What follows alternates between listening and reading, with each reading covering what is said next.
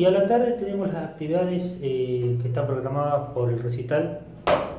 eh, que va a ser acá a la altura del skate park, al costado de Ruta 22. Eh, bueno, donde se ha, se ha previsto un operativo bastante importante, ahí la gente de cultura, estuvimos charlando ayer precisamente del operativo de seguridad que estaban requiriendo, así que bueno, van a ser afectados alrededor de 40 efectivos,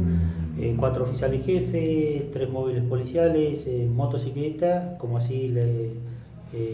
bicicletas para hacer todas las cuestiones de seguridad. Así que bueno, invitar a todos nuestros vecinos,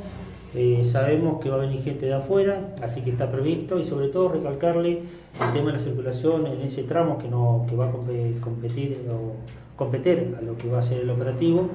de circular con precaución sobre la ruta se va a montar eh, con personal de tránsito y móviles de tránsito eh, un operativo de reducción de, velocidad para que bueno, las personas puedan eventualmente eh, llegar a, este,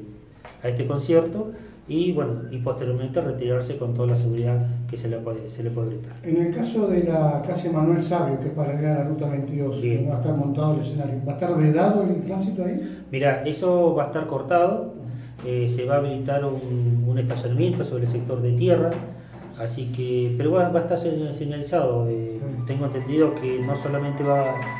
va a participar en gente nuestra de policía, sino también la gente, como hace habitualmente, la gente de defensa civil, a la cabeza con dedicó Cobati, como así la gente de cultura eh, participando y colaborando con todo el, operativo de seguridad, bueno, para que nuestros vecinos puedan disfrutar un espectáculo de esta jerarquía. Eh, así que bueno, estamos nuevamente los vuelvo, a invitar, que vayan con paciencia, vayan con tiempo. Eh, creo que está previsto sillas para que se puedan sentar, pero que no tenga el que pueda llevarse su silla, porque va a ser al aire libre.